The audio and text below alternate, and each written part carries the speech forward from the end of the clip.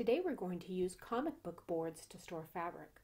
Comic book collectors use these boards to help storage with their comic books. I use them for fabric.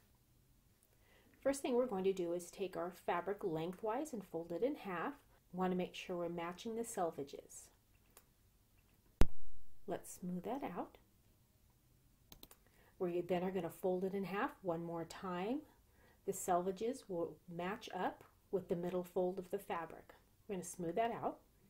We're going to take our comic book board and put it a few inches away from the edge of the fabric. We're going to fold that over on top of the board and then we're going to just keep flipping all the way until we get to the end of our fabric. We're going to make sure we smooth that out as we go. Keep our alignment at the top or bottom. If some hangs over the top or bottom, it's okay. Just make sure at least one side is aligned. When we get to the end, we're going to fold the rest of what's left over and stick it underneath. I'm going to stack those with my other fabrics. A nice, neat, organized way to store fabrics.